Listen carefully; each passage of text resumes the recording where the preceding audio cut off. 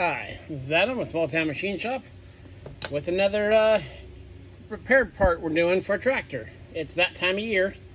They're harvesting, I think it's wheat around here. It's some kind of grass. So, had a farmer bring this by. Well, one of his guys brought it by. I have no idea what this goes to. There's like a, it's rusty in there, like there was a shaft in there. Like this supported something. There's no set screw or anything like that. But, our job, this is roughly one inch 953 he wants this outside here turned to an inch and a half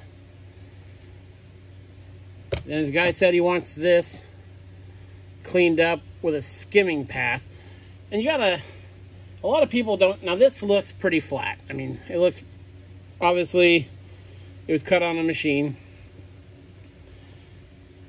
You know, people will come here and say, oh, just take a light skim just to true it up and all that. Well, sometimes on a light trim can be, you know, 25 thou, but... So I called him to see if this was a critical dimension before I took a pass on there. I mean, I'll, I'll shine it up, but I do want to take a pass, and there's some, I can feel, I don't know if something spins on top of this or something, but I can feel a few little things in there. And he said no. He said even if I ended up taking like a, a 16th or of an inch off, that'd be no problem. So that's what we'll do. Of course, we're going to clean it up just with a wire brush real quick so we can chuck it up, indicate it, you know, as best we can here. This, it's not gouged, it's just rough. So we'll clean off this scale again. So I'll get it cleaned up and we'll get set up in the lathe and I'll bring you back. Okay, we got the part in the four jaw. Starting to uh, dial it in here. You can probably see we got about 10 thou off. So,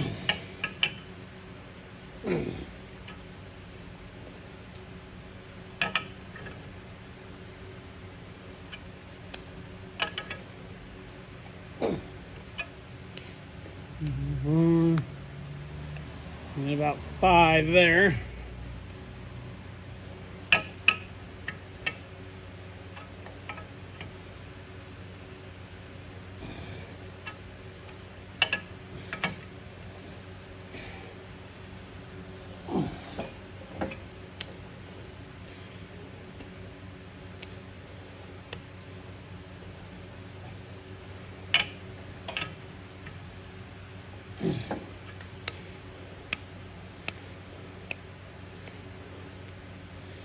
Now, we're down to within one. That'll be plenty good for what this part is. That's good, good uh, place to start from. So, now set you up. We'll bring the uh, carriage over and we'll uh, begin turning it down. I'll bring you back. Okay, the first thing we're going to do is clean this face up. Got my tool holder in there. It's the one with the, the big triangle insert. They're touching here. It's very light skim cuts. Hopefully we don't take much off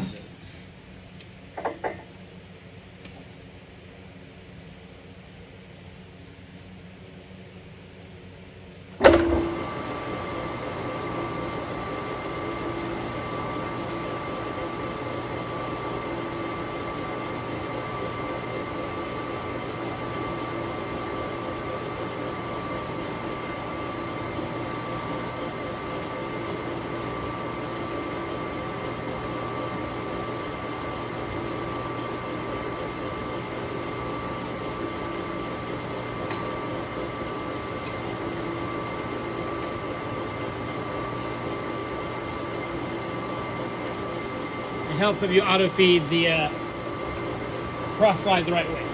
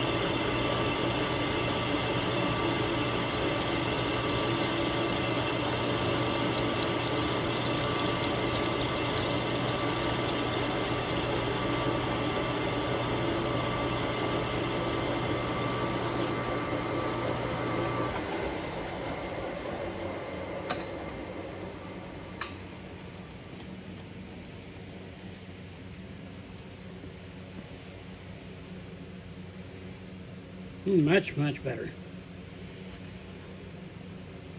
I ended up taking a, uh, a dialed in 40 thou. Took that off after talking to the guy about this length, and that cleaned it right up. There was, I don't know if I showed you, but there was two or three really deep nicks in it, so that's about what I had to do to get that up. It's okay. I'm gonna swing, uh, change the tool bit a bit, and I'll bring you back. Okay, so we're set up for the turning part of it now. Let me get a rough measurement. And we'll use a micrometer as we get closer. So we're at one 944. We're trying to hit an inch and a half. So, touch off. Take a quick pass here. I'm gonna see if I can set the camera up so you can watch it from the side maybe. Okay, we're set up for the turning. Let's take some cuts here.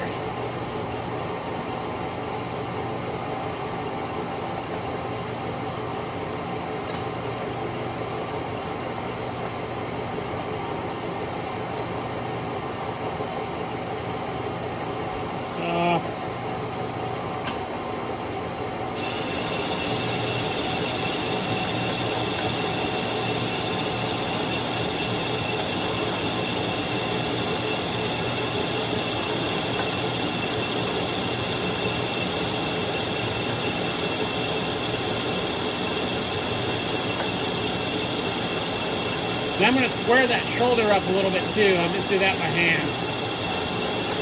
Right, power to get close. Feed it in just a bit.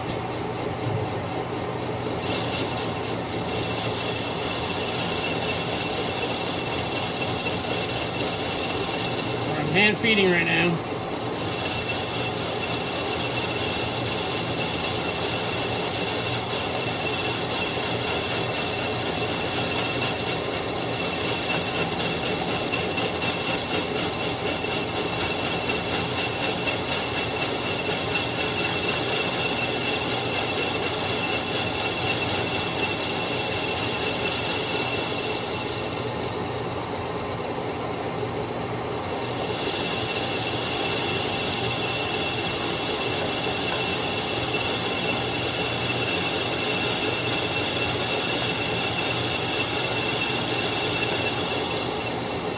There, I like that.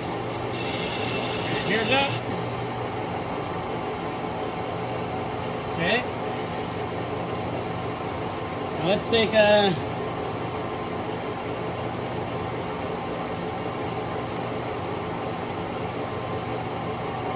Five, ten, fifteen, twenty, twenty-five, thirty, thirty-five, forty. Take a 50 thousandths pass at it. Then we'll take a measurement.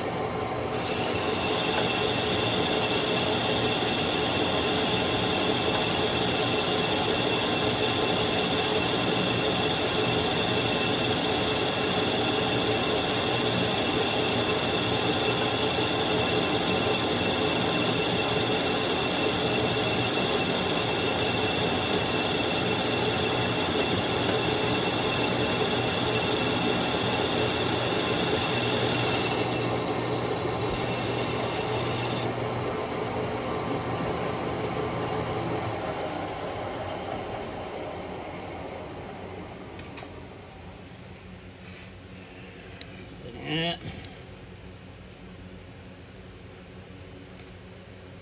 one eighty-five eight. So we'll start working her down. So I'll get most of it knocked down and I'll bring you back. Okay, got the turning done. Um, came out good. It's a thou under, which is perfectly acceptable for what we're doing here. Um, the guy is on. I was gonna film more of me dialing it in, but the guy's on his way to get this, so it's kind of a get it done for him. So I'm just gonna file the, take a file here and break the edges. And what I guess there's a sleeve He had me cut that to an inch and a half, and then there's a sleeve that goes in there. Whatever this goes into was damaged. Um, so this is what he wanted. Let me clean this up real quick.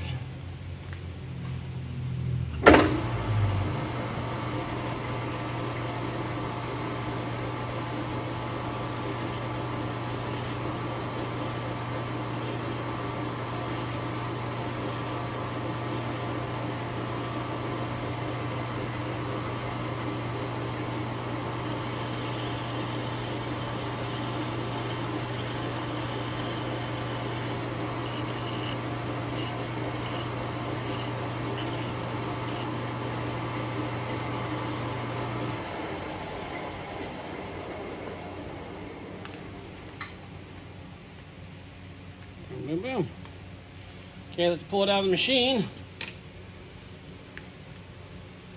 What did I do with the key? Over here. And again, it is, the inside shop thermometer says it's 112 degrees in here. And I believe it.